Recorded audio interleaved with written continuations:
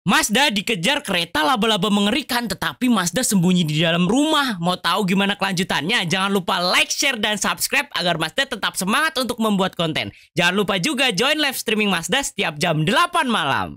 Apakah dia ada... Eh, eh.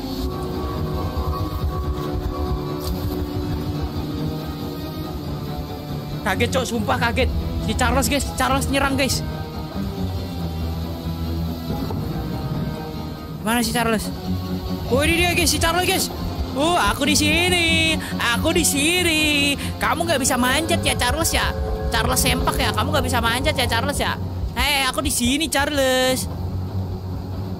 Hai aku di sini. Sini naik kalau bisa, sini naik kalau bisa. Sana kabur kau. Nyusu sama mama kau.